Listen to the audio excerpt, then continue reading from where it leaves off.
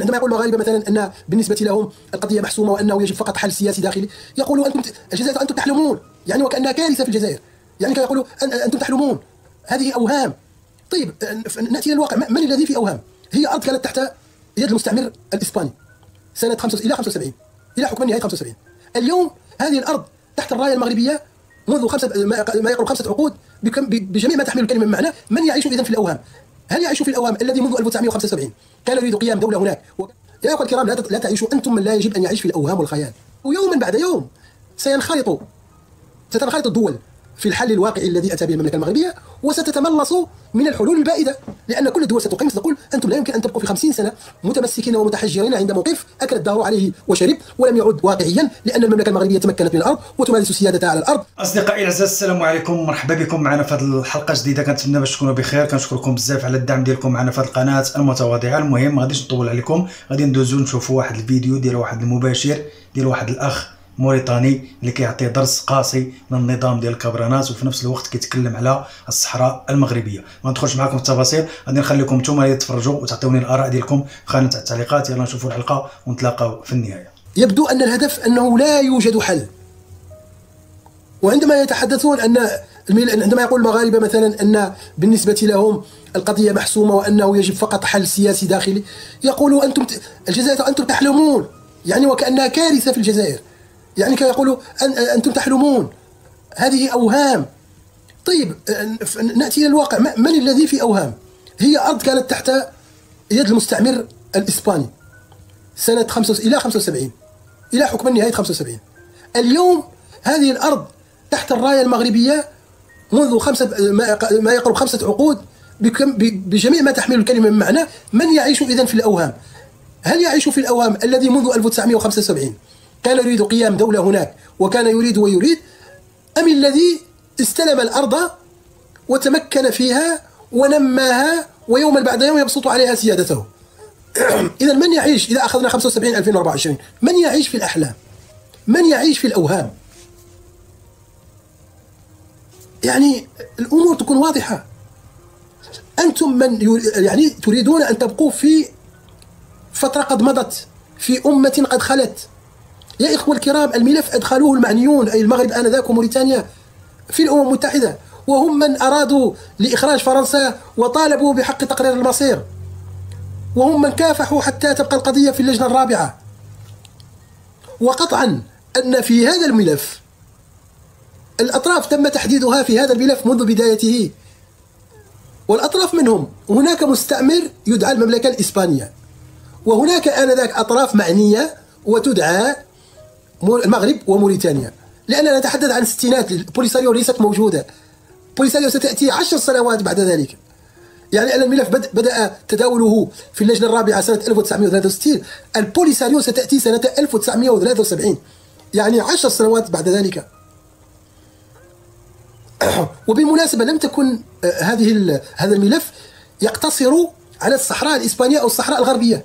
كان يدعى دائما منذ 1904 بدأ خروج القرارات 64 65 66 كل سنة يخرج قرار. القرار يعني دائما ملف la question d'Ifni du Sahara occidental يعني ملف إفني والصحراء الغربية. وتم بفضل التداول وكذا حل مشكل إفني. وبقيت الصحراء الغربية طبعا نتيجة لتعنت المستعمر ونتيجة لأهمية الاستراتيجية والجغرافية والاقتصادية للصحراء الغربية وتعنتت إسبانيا وحاولت بجميع الطرق أن تحافظ عليها وواجه آنذاك المغرب وموريتانيا والمستعمر تم إخراجه. إذا تصفية الاستعمار رغم أن الملف شوف لا تلعبوا على عقول الناس رغم أن الملف في اللجنة الرابعة والمتخصصة في تصفية الاستعمار وفي الأقاليم الغير المتمتعة بالحكم الذاتي إلا أن الاستعمار تم تصفيته بخروج المستعمر. وبوصول الأرض إلى من يطالب بها إلا أن الإجراءات القانونية استغلها البعض لأن يدخل عنصرا آخر هو جبهة البوليساريو ويدخلنا في مرحلة حرب ليتحول النزاع من تصفية استعمار إلى نزاع إقليمي.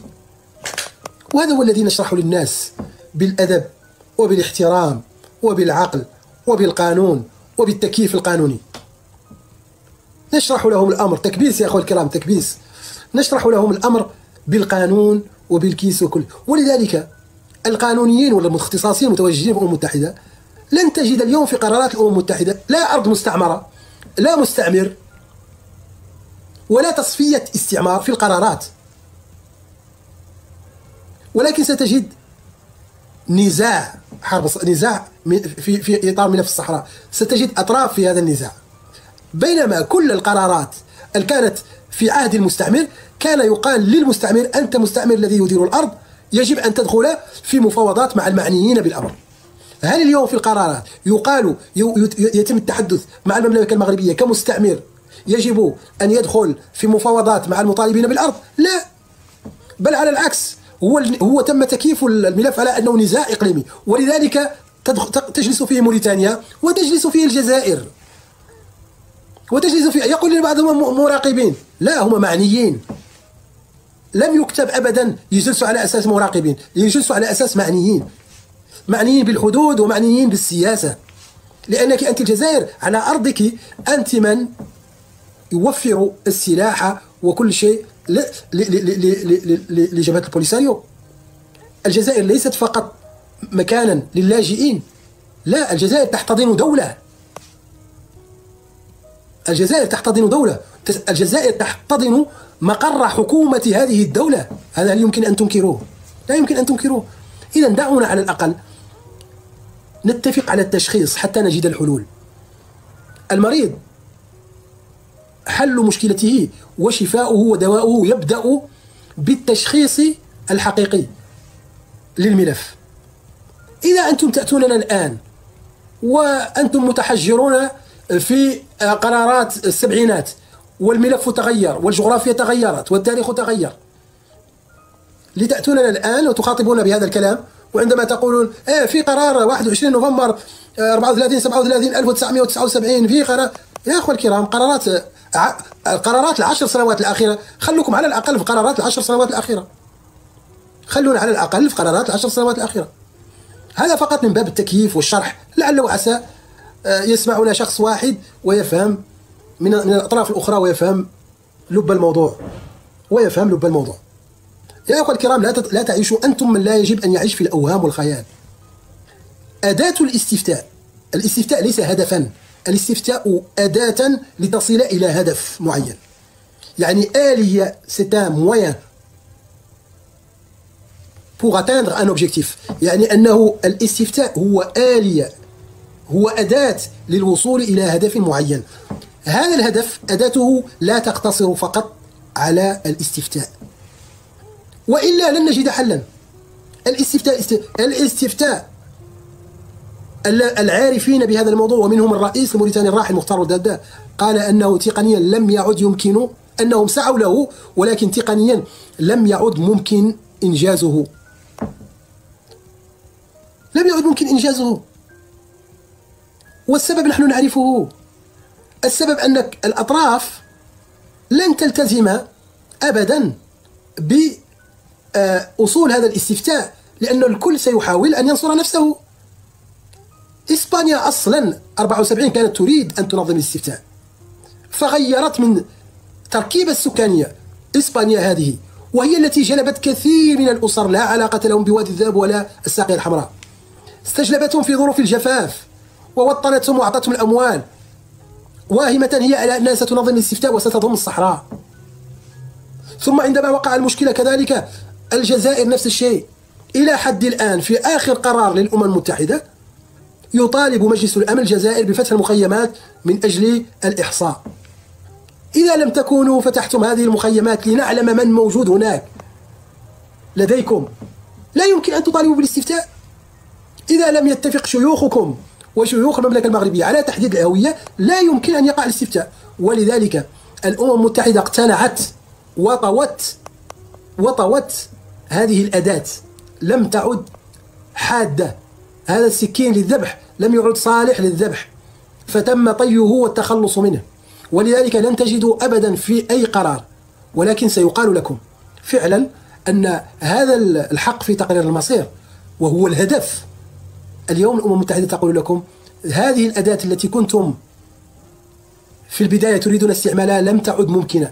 الآن اذهبوا إلى طاولة مفاوضات من أجل تحقيق الهدف. فهمتوا يا أخوة الكرام؟ والله نجيب الخشيبات لهذوك اللي الذين لا يريدون أن يفهموا الأمر. والله لقد بسطناه بما يمكن تبسيطه. تكبيس يا أخوة الكرام مئة ألف ما وصلناها بعد. يعني الأمر واضح. الآن دي مستورة. يأتون ويا مالك هذا الجزائري يأتي يقول اتى دي مستورة؟ وأنتم قلتوا أن كذا. يا أخوة الكرام قضية الصحراء الدبلوماسية المغربية كانت ذكية جدا. ومتمرسة جدا. ومع الزمن استطاعت الدبلوماسية المغربية أن تؤطر ملف الصحراء. وهذا هو أهم شيء في الملفات. ما معنى ما معنى التأطير؟ أن تضع حدود أن تضع أن تستطيع وتستطيع أن تحدد حدود ما يمكن القيام به في إطار هذا الملف لأن هذا الإلف كان مفتوح وكذا. لا المملكة المغربية اليوم استطاعت بدبلوماسيتها أولا من بين الأمور التي نجحت فيها المملكة المغربية أن تجعل من مجلس الأمن هو الهيئة الوحيدة المخولة في إصدار قرارات فيما يخص ملف الصحراء. وهذا بحد ذاته تأطير. هذا تأطير. استطاعت المملكة المغربية أن تجعل أيضا أن هناك حلول وضعت حلا واقعيا لأنه عندما أقول واقع يعني يمكن أن تقيسه على حلول أخرى. يعني الحكم الذاتي هناك دول تتمتع بالحكم الذاتي. دول تتمتع بالحكم الذاتي.